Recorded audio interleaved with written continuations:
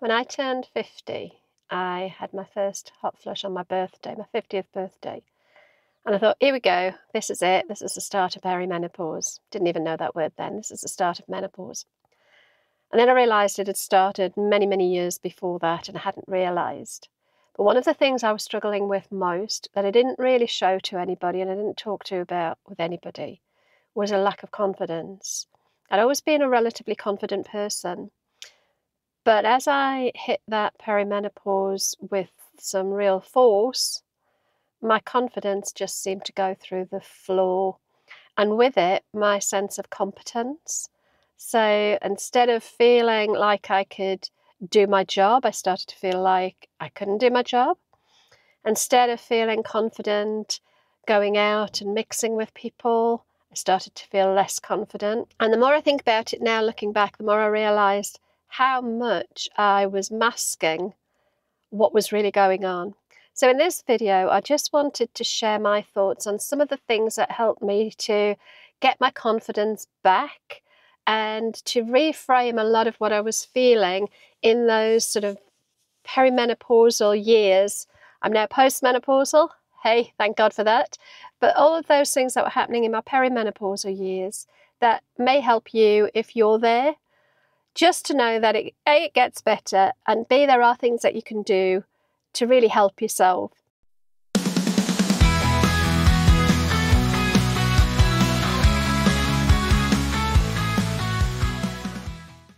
Hi, welcome back, or if you're new here, I'm Bev. I'm a 58 year old woman, and I left my job at the age of 52 because I was really struggling with menopause, and it was definitely brain fog, not being able to remember stuff, feeling completely incompetent most of the time, and just struggling with self esteem and self confidence issues. But here's the thing since then, I've built a successful training business. I've written a book called The Business of Menopause, a guide for working women. I've even done a TED talk, stood on a stage in front of hundreds of people and talked about ADHD in menopausal women, all of which took a lot of confidence. So there's a paradox here. I was feeling less than confident, but then I went on to do things that took a lot of confidence and also built a lot of confidence as well. So the truth is, we have some control over that confidence, and a lot of it is about really understanding what's going on. So I've got three things I really want to share with you. So buckle up. Here we go. So I call this period in our life the messy middle. This kind of time between our normal adult years when we're building a family and a building a career and learning our place in the world. And post menopause, or when we kind of go through the messy middle and come out the other side.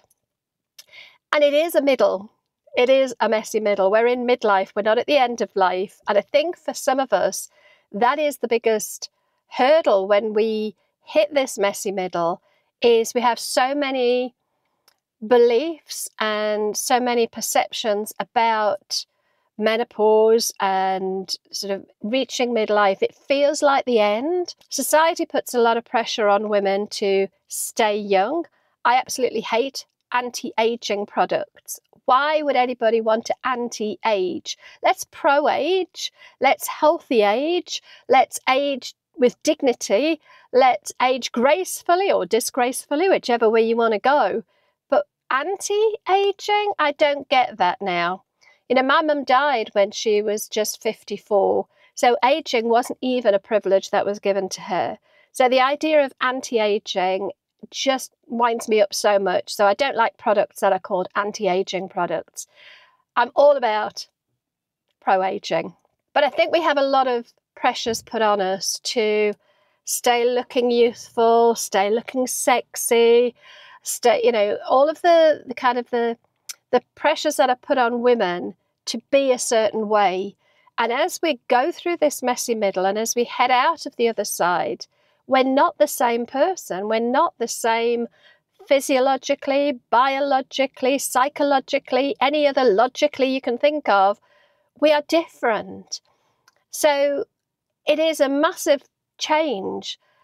And if our perception is that without all of those things that we're meant to have or meant to be in order to be a valuable, worthwhile member of society as a woman, then we're going to have challenges going into the next part of our life when a lot of that goes. So, the first thing that I want to talk about is acknowledging that we are going through a change and it is a full change. As I said before, all the physiological and psychological changes, our body and our mind and our external ev- environment, a lot of the time, are changing. And change is difficult, although in reality, we're changing all of the time, but we hit perimenopause and it's like a seismic shift for many of us. So, managing that change can be challenging. If you're familiar with Elizabeth Kubler Ross's grief curve or change curve, you'll know that we kind of go through a phase of different emotions. And on one side of the curve, we've got sort of resistance, if you like, this sort of denial side to it. It's like we're fighting against the fact that this change is happening. And then on the other side, we get to acknowledgement and acceptance.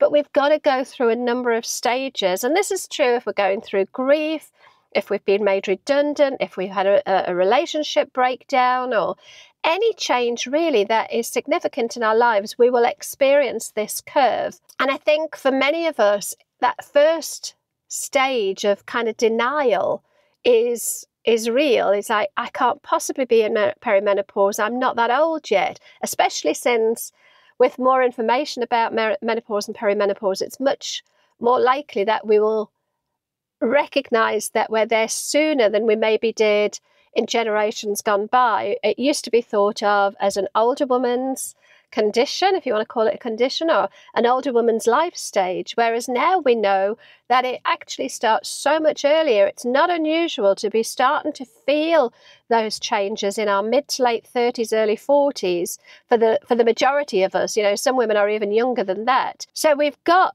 this sort of denial going on. And then, even when we kind of accept that it's probably happening, we want to fight against it. I know I certainly did. I went on this mad get fit campaign and I lost shed loads of weight and got incredibly fit for a 50 odd year old woman. And I look back now and realize that was complete it was completely overkill. It was it was me fighting against what was happening. I, I kind of accepted it, but I wasn't willing I'd acknowledged it rather, but I wasn't willing to accept it. And then as we go through the change curve, we move into sort of depression sometimes follows. And there is this kind of definitely for me, I wouldn't call it clinical depression, but there was a sense of loss and a real feeling of sadness about going through this transition. On top of all of that, the brain fog and the physical changes leaving me feeling incompetent. And then eventually I came out the other side and started to tap into those emotions of things like curiosity and investigating what's going on and, and wanting to learn more and start to take ownership of what was happening so that I, I didn't feel quite so out of control. And of course, the time it takes everybody to get through that learning curve, or rather that change curve, is, is going to be different. Some will go through it very quickly. Others, like me, might take a bit longer. But understanding that these emotions are going to happen gives us a really good starting point for feeling like we have some control over what is going on because i think the biggest hurdle is not knowing what's happening and and fighting against it. And the truth is this is going to happen to everyone. Every single woman will go through perimenopause or menopause at some point in their life. The only exception to that is if you sadly don't live long enough to reach the men- that menopausal transition. So it's going to happen. Ch- the change that we go through is inevitable. How we respond and how we react to it, that is within our control. There's a brilliant way to, to look at this in, in like an equation, which is event plus response equals outcome. So the event here is the changes that go on in our body as we go through perimenopause and through menopause into the, the postmenopausal years. That event is inevitable. That is going to happen. So we can't do anything about that event.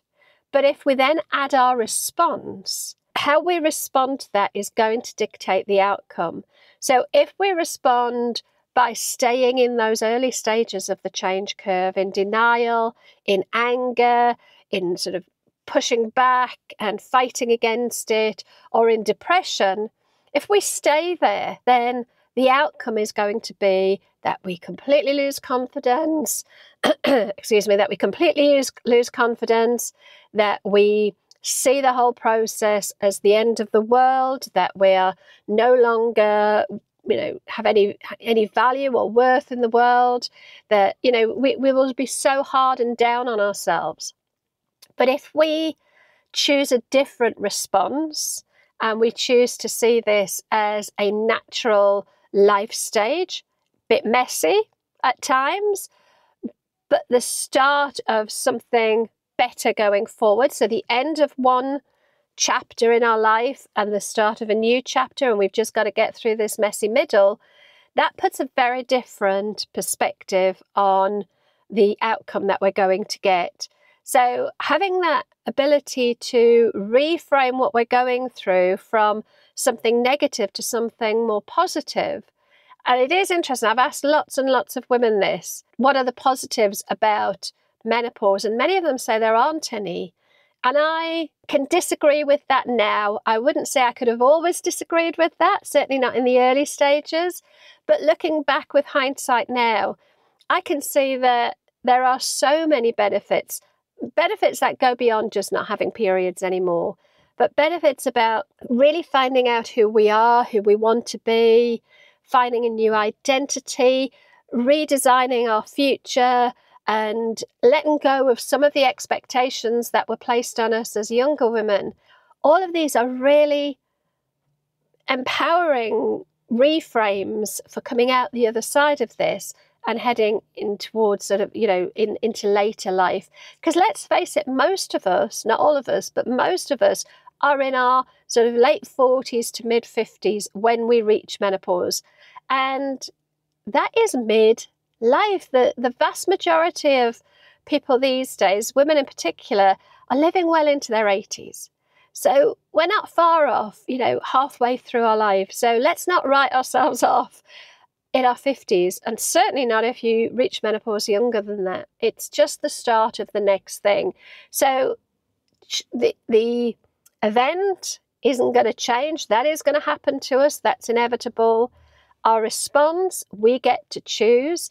And we may need to challenge some deeply held beliefs and deeply held thoughts about the aging process. We might have to let go of some stuff. But when we choose a more positive response, we will get a better outcome. So that's the first thing. The second thing is about arming yourself with what you need to be able to manage this transition confidently. Forewarned, is forearmed. And the more you know, the more you can educate yourself about this transitional period, the more confident you will be in managing the fallout from it. Things like the symptoms, especially the sort of cognitive and emotional symptoms, but also the effect that it's likely to have on your friends, on your family, on your workmates. Understanding what it is you're going through and why you're feeling the way you feel gives you a massive head start on getting underneath how you're going to manage this transition. And you can do this, as I say, really by educating yourself. And there are so many resources out there that you can tap into now to really get to understand what's going on. Trust me, there are some awful resources out there.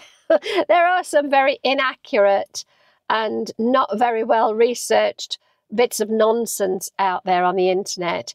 But there are also some amazingly well researched bits of information as well. So finding good books good websites that are reputable. There's no reason why you can't go and do your research. There are lots of good books. You know, when I was going through this eight to 10 years ago, there weren't that many good books out there. They hadn't been written. Um, in fact, the book that I wrote, The Business of Menopause, A Guide for Working Women, was a book that I wish I'd had when I was going through this because I couldn't find any really good, clear information. It was either all flowery and I don't know, just nonsense, or it was very, very clinical. And I couldn't really find anything that explained what was going on with me and my body and, and my mind in a way that I could understand. So I wrote it. Um, if you're interested in it, I'll put the link uh, in the description. But educating yourself gives you a sense of being in control. My my lovely dad always used to say, you can deal with anything once you know what it is you're dealing with. And I totally subscribe to that. The hardest bit about anything is having something happen and we don't understand what's going on. Therefore, we feel out of control, we feel a little bit helpless. We need to arm ourselves with the education and the information that we need to be able to make choices for ourselves. And that might be medication, hormone replacement therapy, it might be non hormonal medication. It might be non-medical at all. It could be that you, you know, once you've done your research, you realize that there are other ways that you want to manage this transition, this messy middle. So it could be therapy, it could be coaching. All of these things can really help.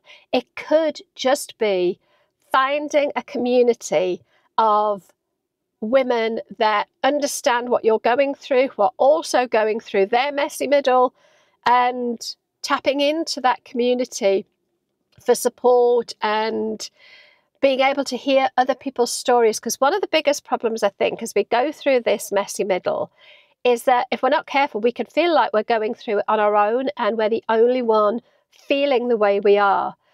And there's this wonderful thing that happens when you get women sharing their experiences.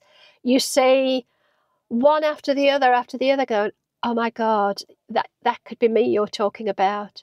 I so relate to that. That that resonates with me. I had no idea that this was all to do with hormonal changes.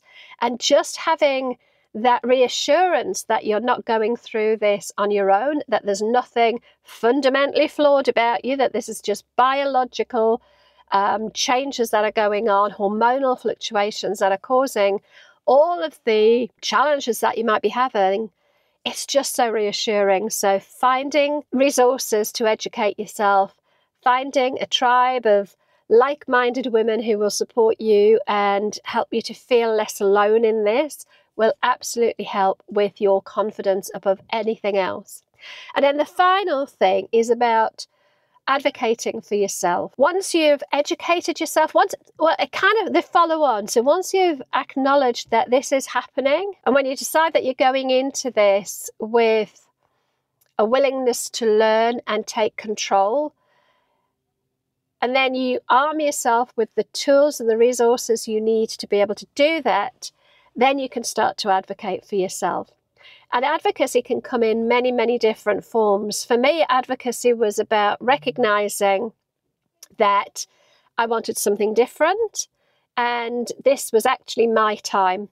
So I made the decision to leave work. I don't think I would have ever been fired, but at times I did feel like I might because I did feel a bit incompetent at times, although I was reassured that I wasn't incompetent. It was just a feeling. But for me, taking control and saying, right, okay, this isn't what I want anymore. I want something different. Choosing to leave work and start up on my own. Choosing to take chances that put me out of my comfort zone, built my confidence along the way. It built that confidence back up. Also, being open and willing to talk about this transition, this messy middle that we're going through, unapologetically.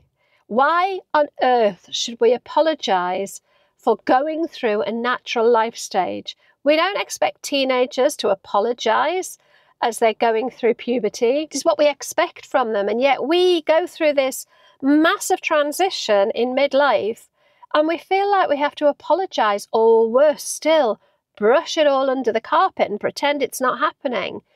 It's happening. Let's own it. And that for me is what advocating for yourself is about. It's about owning what we're going through and being unapologetic for the impact it might be having. That's not to say that we just, you know, don't care about anybody else, but masking it or fighting against it or hiding it is just another layer of pressure, another layer of shame that we have to wear. And I'm all for getting rid of that. So, advocating for yourself for me is about unapologetically owning what we're going through, but also being willing to ask for help and support and not feeling like we have to go through this on our own. And again, advocating for yourself might be arming yourself with good solid research. So you when you if you do want to go and speak to a, a, doctor you go in with an expectation of this is what i have researched. This is what i'm going through. This is what i this is the outcome i would like and this is how i think i can get there. And not feeling like you're at the mercy of a doctor to tell you how you're feeling because you know that better than anybody. Advocating for yourself is also about finally putting yourself first. I think so many women have spent their whole life looking after everybody else around them. And now at midlife, this is the time more than ever to really start to focus on you and your needs so that's your your lifestyle um, habits, if you like, as well. It's things like I like to think of it as nest. So thinking about your nutrition, exercise, prioritizing sleep. I'm rubbish at that. Um, managing stress, your thoughts, your feelings. Actually taking time to make any changes that might need to be made to ensure that you can be the healthiest you can going forward into later life as we head out of this messy middle. I always think this part of our life is a really good opportunity to take stock, to just spend a bit of time thinking about what do I really want? I've spent all my adult years and they've got me to here. Is this how I want to be? In the future or do I want something different? It's like we reach a turning point. And advocating for yourself is, is also about thinking and reflecting about where you are now. And if it's not what you want, doing something about it going forward. And I know that can feel scary and challenging, but it's your time. You've got a whole life still ahead of you as you come out of the messy middle. Why not design it for you going forwards. Your environment might have changed as time's gone on. You know, you, you're if you've had a family, they might have left home and if you've you know had a, a, career maybe you're wanting to find time to step back from that career there's often 101 things going on outside of the environment and i don't know there's something about midlife that gives us a really good opportunity to reevaluate and to make changes going forward and especially if you're feeling really underconfident one of the things that i would say do more than anything is take on challenges that make you feel uncomfortable. The best way to get through a lack of confidence is to build skill in something where you build confidence. Putting yourself into situations that force you to get a little bit out of your comfort zone will absolutely help with self esteem. Challenging yourself to try new things is one of the best ways, in my opinion, to really build confidence. And also self esteem and to start to feel good. And if it feels really challenging, look back over your life at all of the times that you've tried something new, done something new, achieved something. You're still the same person that could achieve those things. You just might not feel it, but you are. So challenge yourself, push yourself out of your comfort zone, And I promise you, you will see your confidence levels going up. And again, finding a tribe of like minded women who get you and understand what you're going through and will support you when you're trying these new adventures can absolutely help. And if you're not sure where to go to find that tribe, I have one. It's called the Generation Exceptional Community. It's over on Facebook. I'll put a link below to join. It's specifically for Gen X women who have navigated or are navigating the messy middle, but who are wanting to go into their next chapter feeling more confident, feeling supported, and having a bit of a laugh and a cry at times together. That's what the community is all about, and that's what we need. So, to summarize before I head off, it is a, a challenging time as we go through this messy middle. But there are things that we can do to regain our confidence and not let perimenopause and menopause strip us of our confidence and strip us of our sense of worth. First of all, acknowledging that it's happening and choosing your response to it. Secondly, arming yourself with the information and education you need to be able to feel confident asking for what you need. And thirdly, advocating for yourself and taking stock of where you're at and redesigning and redefining your how you want your future life to look. I hope you found that helpful. Maybe you can relate to some of it. Let me know in the comments. Did your confidence feel like it dropped when you went through this messy middle? And how did you regain your confidence? If you like this, please do give me a thumbs up and I will talk to you again very soon.